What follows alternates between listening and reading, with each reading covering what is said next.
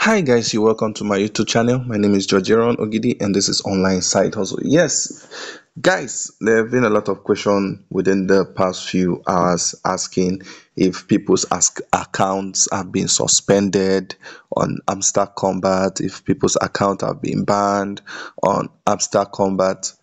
Guys, to fill you in about what you just noticed,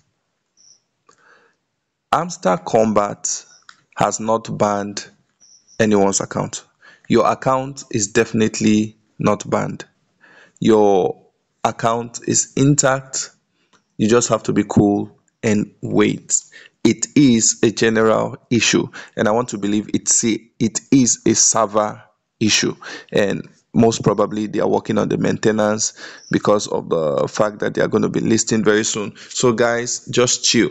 Hamster Kombat will be right back. So, if you click this, you'll see the web page at Hamster Kombat error could not be loaded. Error air name not resolved so guys this is what you're going to be seeing but let's give them a few time because this is a general issue i've contacted some other um, big names in the youtube nigeria industry and they're all facing the same thing. So guys no need to panic. Um so whenever it's back just make sure that you stop using auto clicker. If you are using auto clicker or any form of click assistant stop using it. Make use of your hand to tap. You are close to the finish line don't get disconnected don't let anything disqualify you if you have a double account stop tapping on one of the account and focus on only one account if you are making use of it on one phone so that they don't ban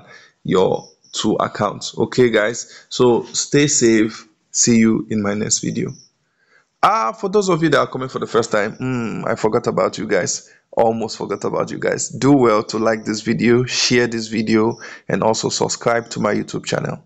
Thank you.